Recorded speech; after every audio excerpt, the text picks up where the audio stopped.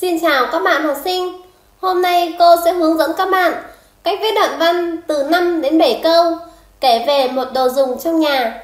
Nội dung như sau. Trong nhà, em thích nhất là chiếc bàn học. Bàn học của em có màu nâu sáng, rất đẹp và chắc chắn.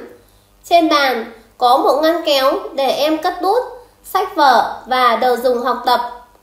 Mỗi khi ngồi học bài, em cảm thấy thoải mái và tập trung hơn. Trên bàn, em còn đặt một chiếc đèn học nhỏ xinh giúp em học vào buổi tối. Bàn học không chỉ là nơi em học tập mà còn là chỗ để em sáng tạo và vẽ tranh. Em rất yêu chiếc bàn học của mình. Trên đây cô vừa hướng dẫn các bạn học sinh cách viết đoạn văn từ 5 đến 7 câu kể về một đồ dùng trong nhà. Cảm ơn các bạn đã chú ý lắng nghe.